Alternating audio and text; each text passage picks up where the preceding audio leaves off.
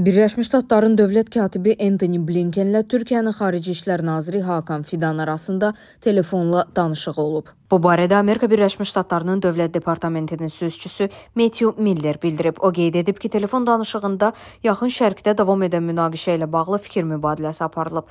Blinken və Fidan girovların azad edilməsini və Qəzzada dərhal atəşkəsə nail olmaq üçün səyləri müzakirə ediblər. Həmçinin regionda qalıcı sülhün təmin edilməsi üçün davam edən səylər ətrafında fikir mübadiləsi aparılıb, deyə Miller vurğulayıb.